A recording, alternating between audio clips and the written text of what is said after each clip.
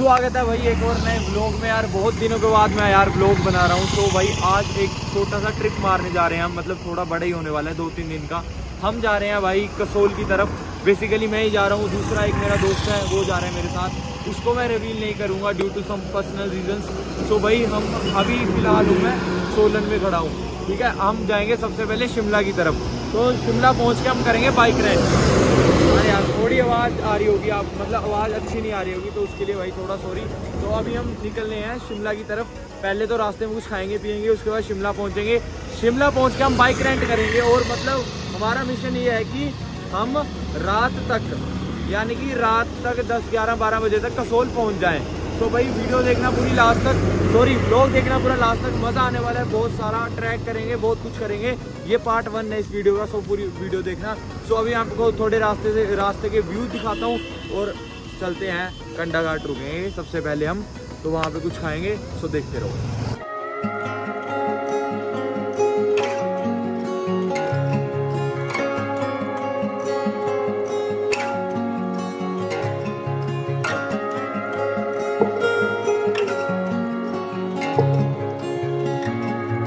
अभी कंडा घाट के थोड़ी आगे मतलब यहाँ पे एक हमें ढाबा दिखा पीछे, रास्ते में तो अभी यहाँ पे रुके हम। तो यहाँ पे भी कुछ खाएँगे पियेंगे उसके बाद भाई देखते हैं क्या सीन बनता है। मतलब आगे जाएँगे उसके बाद शिमला। तो शिमला पहुँच के मिलते हैं फिर आपको, या कुछ खाते हैं, फिर अपने राजमा, चावल और कड़ी और भाई काफ़ी मज़ा आ रहा है। अच्छा लग रहा है खाना आगे। ये है भाई ढाबा। इस साइड को। बिल्कुल हाईवे के पास है। देखो। इसका नाम क्या है? माउंट व्यू ढाबा के बिल्कुल सामने है। ढाबा का नाम है दुर्गा फ़ूड पॉइंट भाई बाइक रेंट के चक्कर में आधा शिमला घूम लिया, बहुत जगह पूछा। कहीं बाइक नहीं मिल रही, ना स्कूटी मिल रही है, कुछ नहीं मिल रही है। सो अभी पहुँचे हम आईएसबीटी तो यहाँ पे बस वगैरह देखते हैं, अगर मिल जाए तो। भाई अनफॉर्चुनेटली थोड़ा भाई, शिमला में यही सीन है कि वीकेंड पे कुछ नहीं मिलता यार। वैसे भी यार, यहाँ परेशान हो जाता है बंदा। तो हो सके तो पहले ही लेके आओ, कुछ पीछे से ही बाइक बुइक अपनी लेके आओ, चाहे रेंटल कहीं हो से। भैया प्री बुकिंग करो, फिर मिलती है यहाँ पे, ठीक है? तो अभी देखते हैं, बस वगैरह मिलती है तो। सो भाई और उनकी बहनों, हमने प्लान में थोड़ा चेंज इस प्रकार है कि भाई, हम जाएँगे सबसे पहले यहाँ से बस लेके कुल्लू। ठीक है बाइक वगैरह यहाँ पार्किंग में लगा दी है पैंतीस रुपये के हिसाब से यहाँ पार्किंग है। और अभी हेलमेट है हमारे पास तो ये तो ऊपर लोकल रूम में रखे हैं, वहीं पे भी अठारह, बीस रुपये वहाँ लग जाएँगे पर डे के हिसाब से, ठीक है?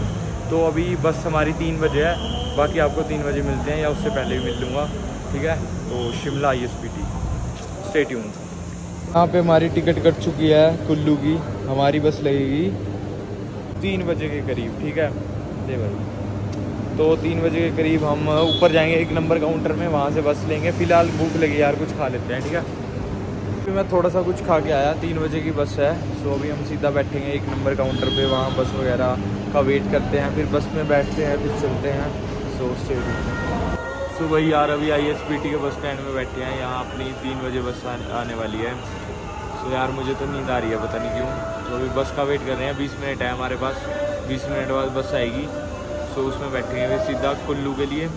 वहाँ आई थिंक दस ग्यारह बजे पहुँच जाएँगे।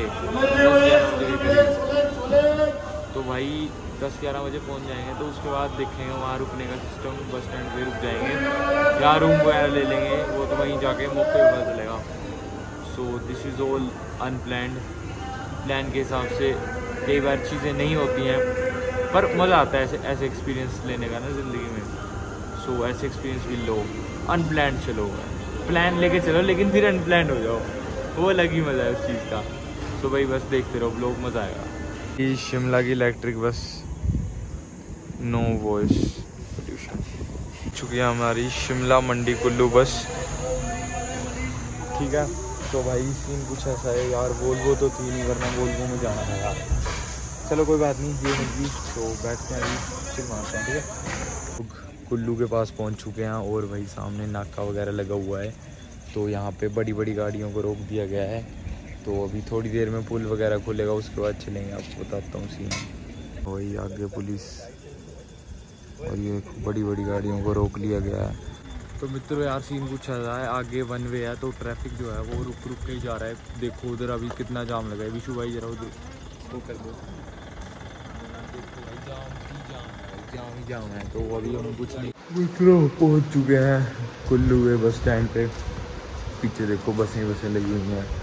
और थोड़ी लाइट में आ जाता हूँ मैं। तो अभी यहाँ पे हम टॉयलेट ढूंढ रहे थे। फाइनली हमें टॉयलेट मिल गया बस स्टैंड पे। सो थोड़ा फ्रेश वगैरह होएँगे उसके बाद भाई कुछ इस प्रकार है। देखते हैं। तो अभी ग्यारह बारह, ग्यारह बजे है तो यहीं सो जाएँगे आराम से अंदर वेटिंग रूम पे।